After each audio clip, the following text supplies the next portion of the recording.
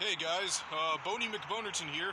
I know this is a bit of a out of nowhere video for Halloween, but um, yeah, I, I just want to show you guys this. Someone blew up the fucking stuff. Someone blew up the stuff.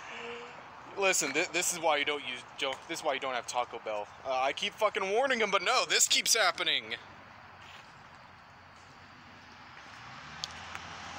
You can actually tell it was an explosion by the massive amounts of splatter that is on the inside of this door.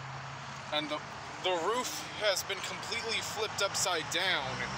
Just just look at this.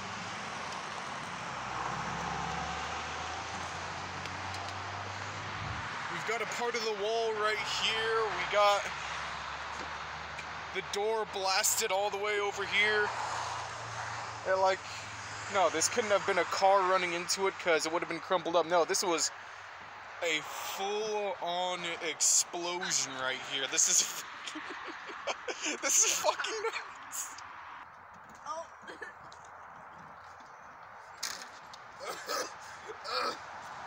This is why you stay away from Chipotle. hey, I found the toilet paper roll. oh yeah, I see it there.